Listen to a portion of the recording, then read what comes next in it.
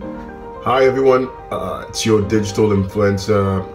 Um, hope we're all having a great day so far. Uh, real quick, as usual, I just want to talk about focus today.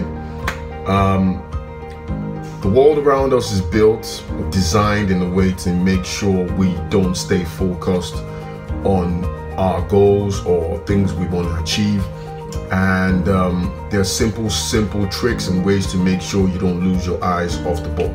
I'll really explain what i mean by focus. Imagine you're on a flight right?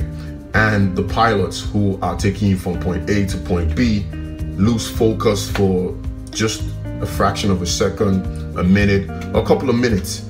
I mean we can all imagine what would happen right? Imagine a formula one driver hey, Lewis Hamilton, that type of person, who loses focus during a very pivotal race.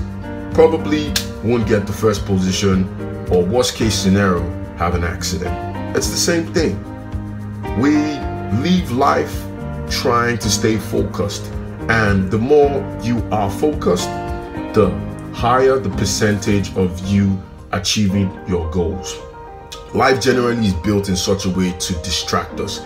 There's so much going on around us. There's politics, there's religion, there's family. There's all sorts of things just happening at the same time.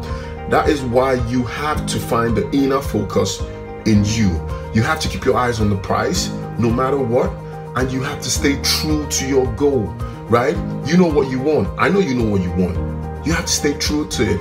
Block out all that noise. The noise is so much. But when you find inner focus, trust me, you're this close to achieving that that which you want to achieve. This is your online digital influencer. I just wanted to put this out there. Let's all remain focused no matter what.